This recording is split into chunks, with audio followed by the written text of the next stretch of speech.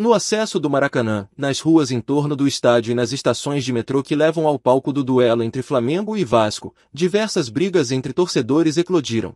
Moradores de apartamentos próximos ao Maracanã registraram parte de uma briga entre organizadas de Flamengo e Vasco.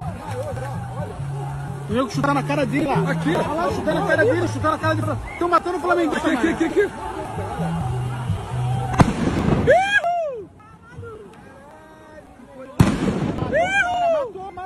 Flamengo. Ai, mais um, porra!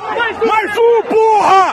Nesse vídeo postado nas redes sociais, um torcedor do Vasco aparece ferido e desacordado após ser brutalmente espancado. Nesse outro registro, mais cenas lamentáveis, com mais um torcedor do Vasco caído no chão e ferido. E quem pratica e presencia as agressões, comemora. Aqui é jovem, porra! Ai, aqui é a guerra! Botamos é pra ralar, porra! Cadê a força? Cadê, porra? Cadê a força que veio? Cadê? A polícia militar precisou agir. Aqui um grupo de torcedores do Vasco entra em confronto com PMs.